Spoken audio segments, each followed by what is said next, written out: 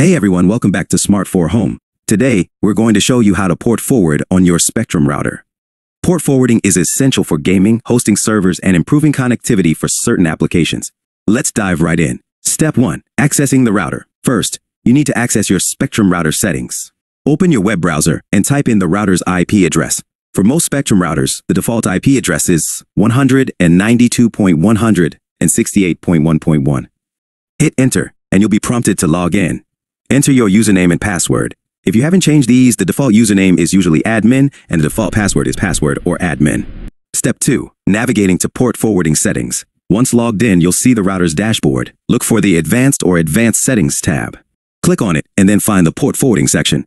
Different Spectrum routers might have slightly different menus, but the process is generally the same. Step 3. Adding a port forwarding rule.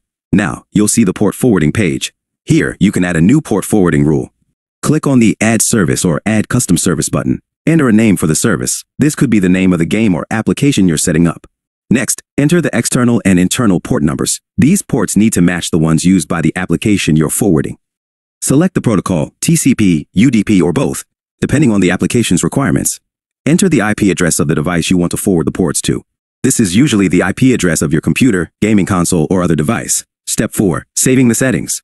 After filling out all the fields, click Save or Apply. Your new port forwarding rule should now be active.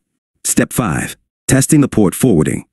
To ensure your port forwarding is set up correctly, you can use a port checking tool or website. Simply enter the port number you forwarded and check if it's open. If the port is open, you're all set. If not, double check the IP address and port numbers you entered.